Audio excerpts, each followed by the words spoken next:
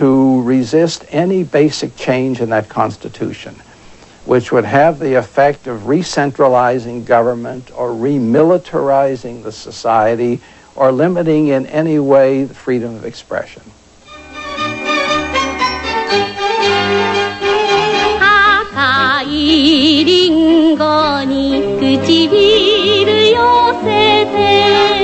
Freedom of expression led to an explosion of Japanese popular culture New songs, new dances, and new movies.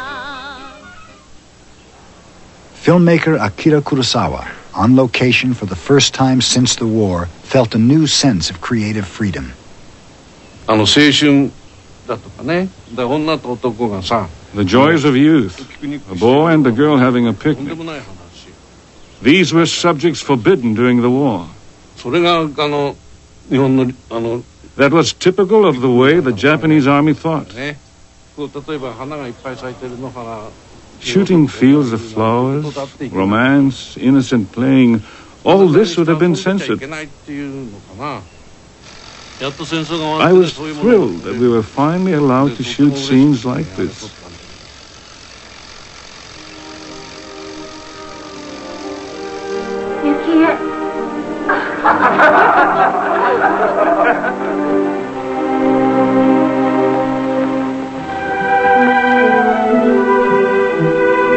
No Regrets for Our Youth was a groundbreaking film about the struggle of a modern woman in pre-war Japan. At the time, the status of Japanese women was very low.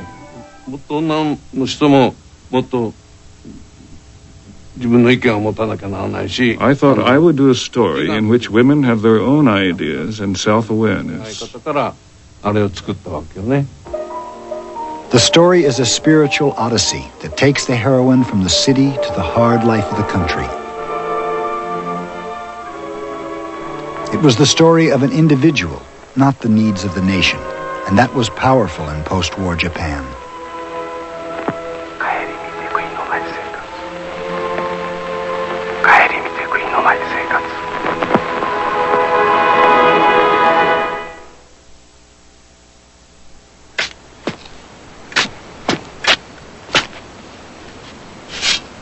1946, half of Japan's population lived off the land.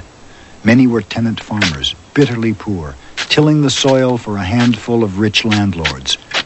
To stave off rising discontent, the occupation ordered its most enduring change land reform. MacArthur forced the Japanese government to buy over 30 million parcels of land and sell it cheaply to the farmers. MacArthur once said that a farmer without his own land is like a man without a soul. Nozaka, who was one of the leaders in the uh, Communist Party, had told me personally that that the land reform had undermined the Communist Party because peasants who would otherwise have been adherents to the communist principles had become capitalists. Land reform created a new class of conservatives in Japan. Labor reform set free more radical elements. Labor unions were established very quickly. In the course of history, this was a very unusual development. A country that wins a war occupies the nation it is defeated and installs independent labor unions. Japanese labor unions were very lucky. And like bamboo shoots, they sprang up. In the first year of the occupation, four and a half million workers joined labor unions.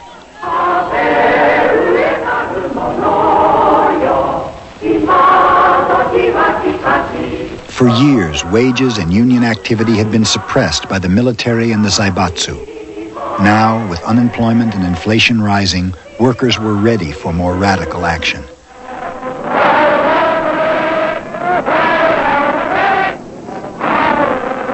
One of the first bold moves caught everyone by surprise. Late in 1945, rail workers seized control of the Tokyo train and trolley system and let everyone ride for free.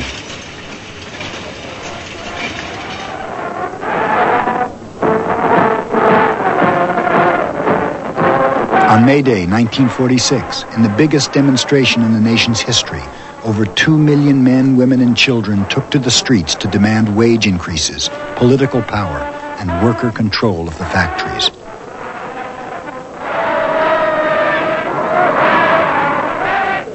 By the fall, over a hundred strikes hit Japanese industries, from newspapers to car factories to movie studios. The movement peaked in the winter of 1947 when confident labor leaders called for a general strike, a display of political power intended to shut down the entire country.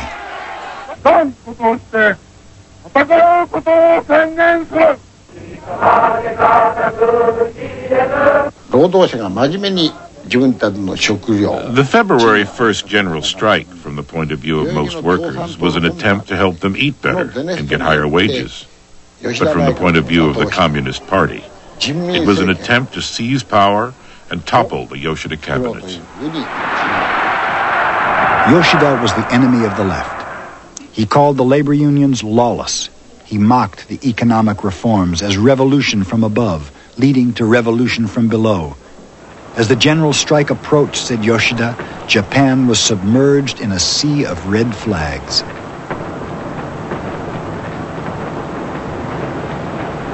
The plan was to make this the biggest strike the world had ever seen.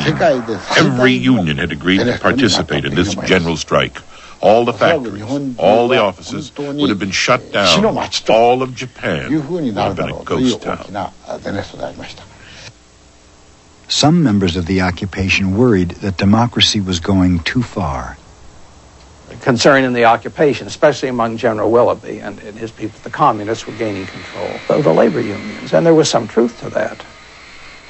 If the trains had stopped running, communications had been cut off, food was very short, shelter was was short also, it would have been a situation closely approaching anarchy.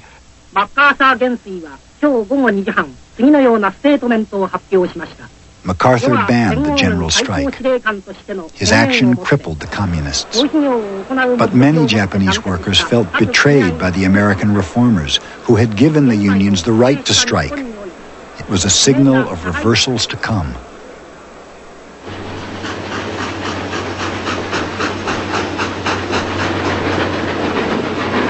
By 1947, events outside Japan were starting to change the course of occupation policy. In China, communist forces led by Mao Zedong were routing the armies led by America's ally, Chiang Kai-shek. In Eastern Europe, new communist regimes emerged. Many influential Americans feared that the Soviet Union, led by Joseph Stalin, was directing a campaign to spread communism throughout the world. We have permitted Soviet Russia to continue a policy of persecution and slaughter, dooming our neighbor nations and ourselves to reap a rotted harvest of appeasement. This choice must be God against Stalinism.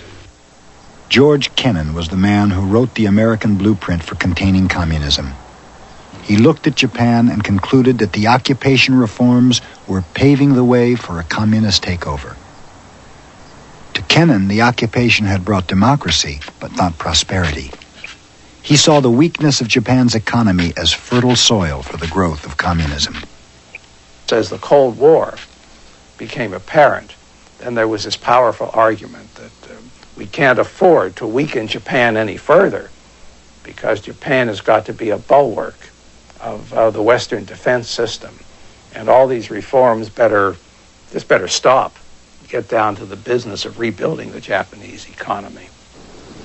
To change the course of the occupation, George Kennan flew to Japan. He was followed by the Undersecretary of the Army, William Draper. A former investment banker, Draper was known as the Wall Street General. Draper tried to persuade MacArthur to stop punishing big business in Japan and start building up the country.